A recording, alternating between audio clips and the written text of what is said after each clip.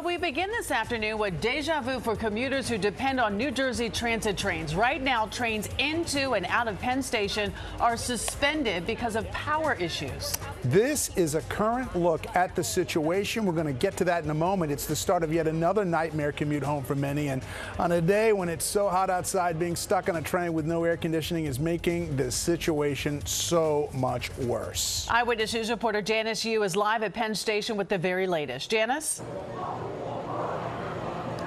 Sade and Bill, I mean, this is an absolute mess here inside Penn Station right now. And for many, this is just Groundhog Day. This is certainly not the first time, even this week, that some NJ Transit riders have had to deal with these extensive delays. In fact, look at this board right now. I mean, right now you can only see one thing that says it's canceled. Uh, there's the delay right there. And in the scrolling here for Summit at Hoboken, it says that this train is being diverted. So no uh, sense of when things will be back up, but Amtrak says this is all because of power loss due to a malfunctioning circuit breaker. So this outage is between Penn Station and Newark, and it's impacting trains between Philadelphia 30th Street and the New Haven station.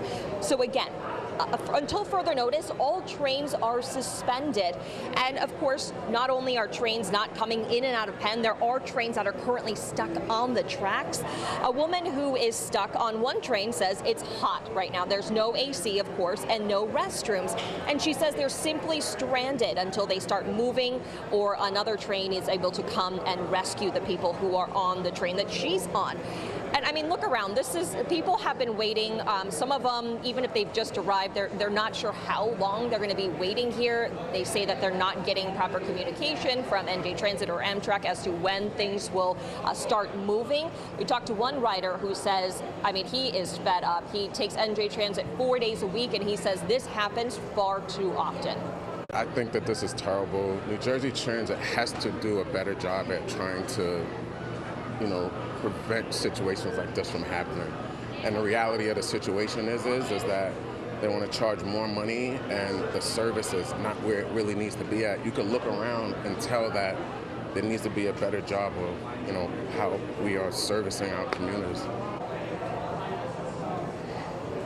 Dominic, the man you just heard from there, he takes NJ Transit four days a week again. And he says he deals with this so often, so much of his time uh, when he should be home is wasted waiting here, waiting for the trains that have been delayed. So uh, we're going to keep an eye on this and hopefully get some updates as to when things will start moving again. I'll send it back to you guys live at Penn Station, Janice Yu Channel 7 Eyewitness News. Okay.